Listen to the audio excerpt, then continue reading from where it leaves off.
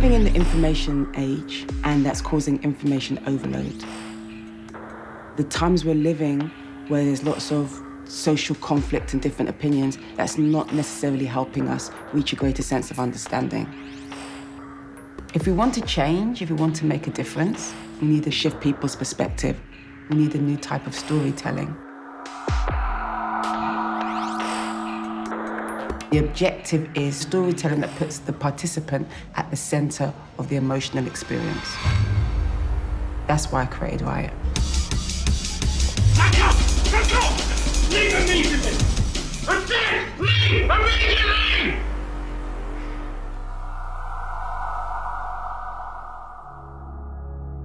I was watching Ferguson on social media and I was really upset with what I was seeing. Another young black man in America murdered by the police. Only when there was some rioting did it become news. How they're being represented in the media is not empathetic. Thinking, you know, there's more to this story and there's more to how this is being represented. And I felt that if I could put people in the middle of a riot by interacting with characters from police to anarchists to protesters to looters, we can have a sense of understanding of the situation. Why you arrested her? Why are you arrested her? Step back! Riot is an emotionally responsive film. It uses artificial intelligence, machine learning, live action, and facial recognition, and the objective is to get out the riot alive. Back away! I will arrest you next! Yo, I've been looking all over for you, man. Let's get out of here. It's not your fight. Come.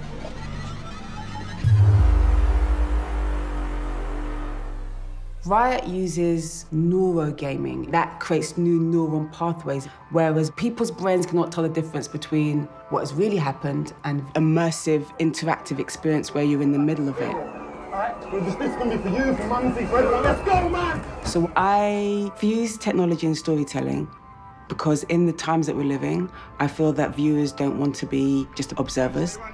So if you don't use technology, you are not allowing yourself to access a lot of young people in a language which they are excited about. Riot monitors three emotions calm, anger, and fear. The webcam will be watching you as you are watching the film and determine the average of your emotions.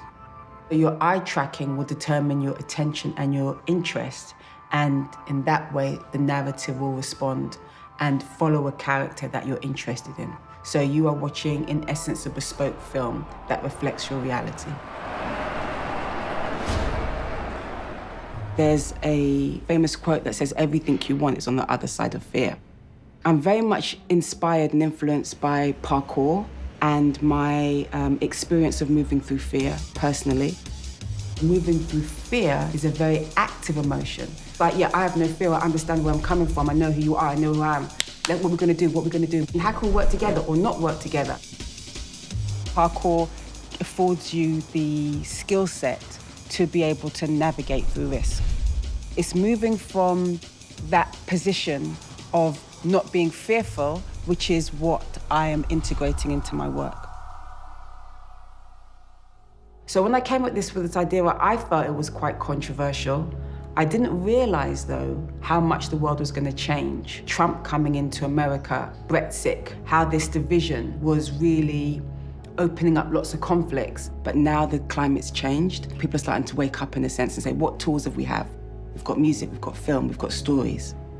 So the final Riot iteration is going to be a 360 environment where you can be playing the experience with several people. It's epic, it's cinematic, it's scaled, where you're using technology to help you reach your full potential as a human being, but through entertainment.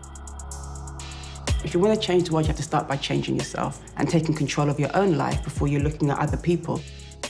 Once you've got a sense of understanding of who you are, then you can engage in a dialogue. This intention that I have is that Riot will herald in a conscious form of filmmaking, create insight, understanding, shift people's perspective. And I think that's where you can make a difference.